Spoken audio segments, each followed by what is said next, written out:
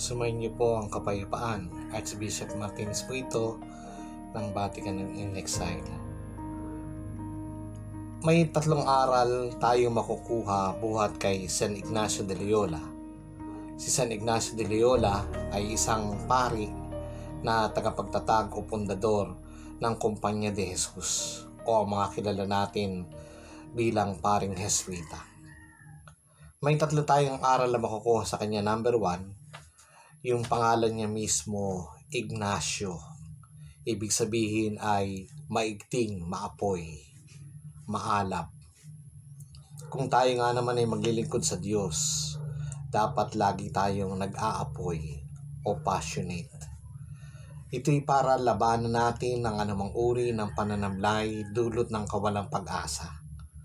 Kaya mahalaga na tayo lagi kung gusto natin makaakit ng kapwa-tao paglapit kay Kristo ay dapat makita sa atin yung sigla, makita sa atin yung alab, makita sa atin yung apoy ng ating pagmamahal sa Diyos. May makita sa atin yung kagalakan upang sa gayon sila'y maakit natin paglapit sa Panginoon. Kaya yun ang unang aral. Si San Ignacio ay maigting. Dapat din tayong nag-aalab. Pangalawa, ang aral na makukuha natin kay San Ignacio ay yung tinatawag na spirituality of the more. Ito'y ayon do sa principle and foundation ng spiritual exercises of St. Ignatius. Na kung gusto nga naming maglingkod bilang mga disipulo ni Kristo, hindi tayo pwedeng maging mga mediocre.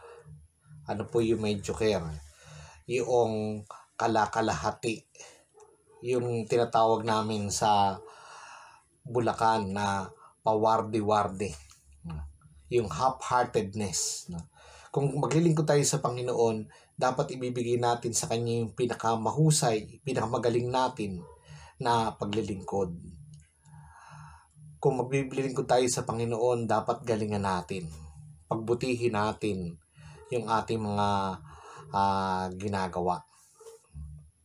Pangatlo, finding God in all things. Isa sa spiritualidad ng mga Heswita ay contemplatives in action. Finding God in all things ayon sa principle of foundation and foundation ng spiritual exercise ng St. Ignatius, lahat ng bagay ay nakalaan para sa isang hantungan. Walang iba kundi ang Diyos. Ano pat lahat ng bagay na ito, no? Ang ating kayamanan, panahon, at makakayahan ay nakalaan para sa iisang layunin. Walang iba kundi mapalapit tayo sa Diyos. Kaya anong bagay na makapaglalapit sa Kanya, eh kunin natin. Pero anumang bagay na makapaglalayo sa Panginoon, kalimutan na natin.